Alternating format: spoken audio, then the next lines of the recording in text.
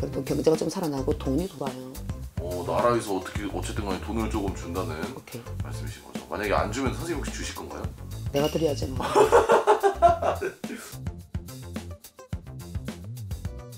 안녕하세요. 새해 복 많이 받으시고요. 네, 동작권 오란지농의 11시입니다. 반갑습니다. 반갑습니다.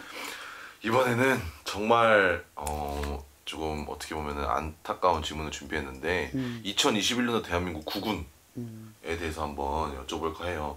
도대체 코로나 언제 끝날까요? 나도 당장 끝났으면 좋겠어. 가슴이 먹먹하고 답답하고 네. 어디를 가더라도 불안하고 네. 오시는 손님들도 불안하고 우리 할아버지도 불안해. 그래서 다들 불안한데 어, 올해 음력 2월 달이죠. 네. 2월 달, 3월 달이 고비가 된다라고 하고 계셔요. 그러면 언제까지 가냐? 앞으로 2, 3년은 좋게 가겠다. 그럼 또 다른 변종이 또 나오겠다. 이게 오해하실 수 있지만 선생, 선생님은 진짜 TV를 안 보시더라고요. 네, 근데 예. 사실 코로나 변종이 해외에서 나왔어요. 아 그래요? 네. 아 가슴.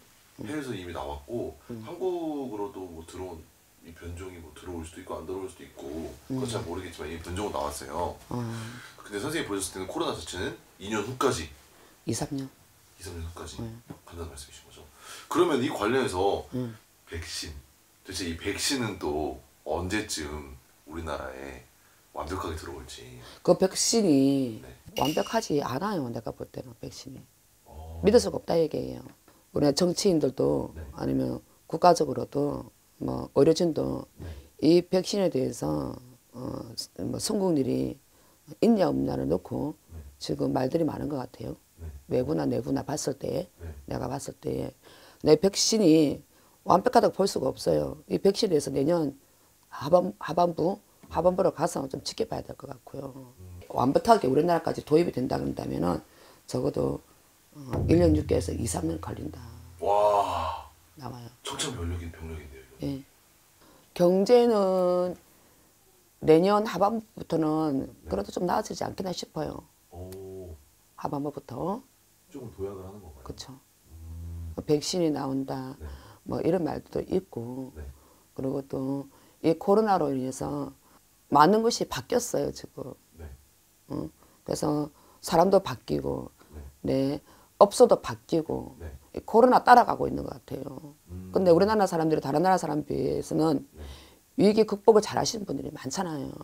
네. 그만큼 부진하시는 분이 우리 우리 한국 분들이 많거든요. 네. 어, 내가 볼 때는 내년 하반기 엄내 6, 7, 8, 9, 10월 달쯤 가면은 경제가 그래도 좀 살아나겠다 싶어요. 돈이 좀 돈다 얘기 돈이.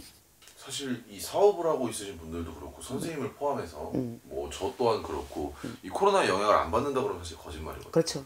근데 어쨌든 간에 코로나가 계속 가능한 영향을 받을 건데 음, 하반기에는 그래도 좀 경제가 다시 올라온다는 음. 말씀이신 예, 엄내 6, 7, 8월 달에 네. 그래도 경제가 좀 살아나고 돈이 돌아요.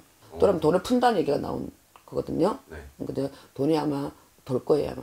어, 나라에서 어떻게 어쨌든 간에 돈을 조금 준다는 오케이. 말씀이신 거죠. 만약에 안 주면 선생님 혹시 주실 건가요? 내가 드려야지 뭐.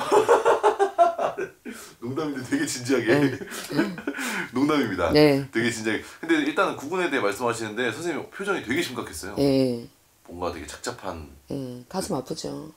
음, 신도분들 중에서도 코로나 관련 그런 거 있었어요. 신호분 중에는 없었는데 어떤 어, 며칠 전에 예약을 어, 하신 손님이 오셔서 터보로 오신 분이 계셨는데 어, 예약을 했는데 한 분이 안 오셨더라고요. 근데 그의 자제분이 코로나 확진 예, 소식을 듣고 못 왔어요. 근데 뭐 잘 넘어갈 것 같아요. 아, 코로나로 해서 다 죽는 건 아니고 네, 어, 누구한테나 걸릴 수 있는 문제잖아요. 네, 어, 그렇기 때문에 네. 그거 외에는 지금 없어요. 코로나 걸리신 분은 없어요. 알겠습니다. 감사합니다. 네.